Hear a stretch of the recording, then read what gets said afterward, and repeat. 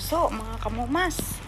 Halika, samahan niyo ako bumili ng hindi kumuha pala ng soft drinks kasi ang aming ref nandito sa labas ng bahay namin.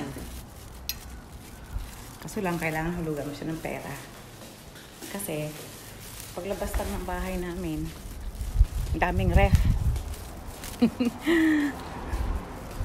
Ay, mapakita ko sa inyo kung ilang ang ref ha. Sa tapat lang ng bahay namin ito.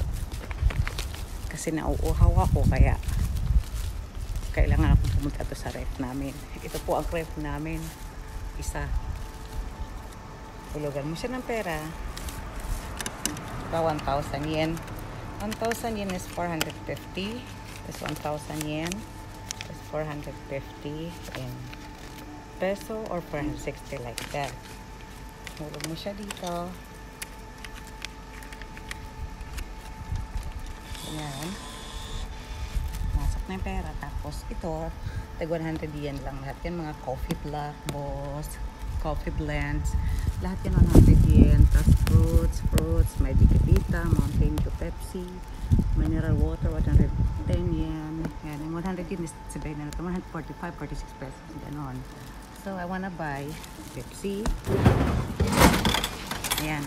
Bumaba na Pepsi. At bumaba na rin yung sukli. Kunin natin ang sukli.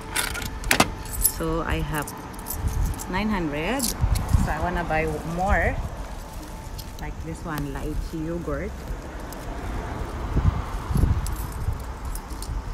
To put 100 yen. And Ligo. So, ayan siya. Kita nyo? Uh, kamumas. Ngayon, napakarami po dito sa harap ng bahay namin. 1, 2, 3, 4, 5, 6, 7, 8, 9, 10. Sampu po. Paglabas lang ng bahay namin, sampu na agad ang ref namin sa labas ng bahay. Kaya hindi na kami nag-stock ng inumin. So, ito yung pangalawang ref sa labas ng bahay namin. Yan naman yung mga paninda nila. O, nakalimutan ko palang sabihin sa inyo na pag, kasi ngayon, summer, kaya blue. Blue ang sign, ibig sabihin malamig. Yan, malamig siya. Tapos, pag winter naman dito, ang magiging sign niya ay red. Lahat to. Lahat na ito tsumita means tsumita means malamig. Tapos pag winter na mga, mga next month, ah, mga second week of this month, magiging pula na lahat ng sign na to. It means mainit na. It depends na lang kung water. Water talaga. Pag water talaga malamig lang siya. At saka yung Mitsuya cider, yung kalpis. Ah, ito pa lang nasa taas na to. Ano talaga siya? Malamig siya. Mga lamig. Ito namang sa baba yan. Ito din malamig. Tomato juice, piccory, wells. Basta pag nakita nyo na ang sign niya ay pula, it means mainit siya. Yan po ang vending machine dito. Nagkakalat po dito sa labas ng bahay. So mga kamumas, ito na naman ang 1, 2, 3, panglima sa harap ng bahay namin na vending machine. May coke. Ito tandaan nyo, ano siya, pag naging pula, ibig sabihin mainit. Pero yung price na yan, pula, yan lang price. Pero yung dito, pag pula, ibig sabihin mainit. So, papakita ko sa inyo ang sign ng mainit. Ito yung mga paninda niya rito. Tea, water, coffee, lahat ng klaseng kape andi dito. Black or ano. Ito siya ang mainit. Ayan. Pag pula ang sign means mainit. Okay? Now, dito tayo sa kabila kung ano naman ang laman ng isang ref na to. Vending machine. Ito yung panglima sa harap ng bahay namin. Iba-iba siya. Tignan mo different kind of cola, milk tea, tropicana, coffee.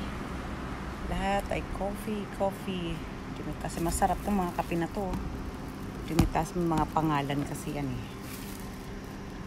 May American, cold. Tapos dito naman sa panglima, Ganun pa rin. Coffee. Wow, Wonder Coffee. Coffee. Lahat black, black, bitter black daw. Black coffee. Then, they have a caramel coffee. This is jelly, Mitsuya cider. This is tea.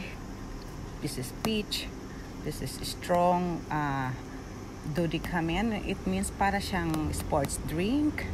And Wells, and everybody knows this Wells. And then Pocari Sweet. 150 yen. It's 2 100 yen. Dito 100 yen na mga water. Philippine Sun. Yan. Ang panglima naming ref sa harap ng bahay. So ito naman yung pang-anim na ref. Vending machine sa harap ng bahay namin. Diba? Grabe. Kita mo may Red Bull. Iba-iba talagang paninda.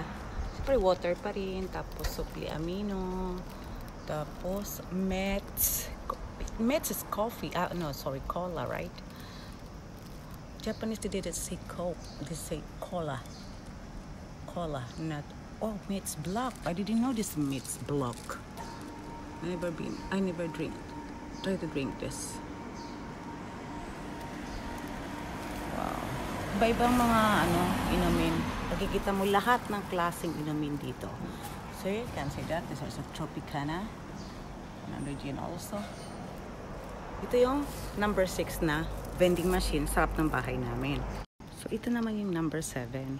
It, bawat ano pala, bawat vending machine, may kanya-kanya silang brand.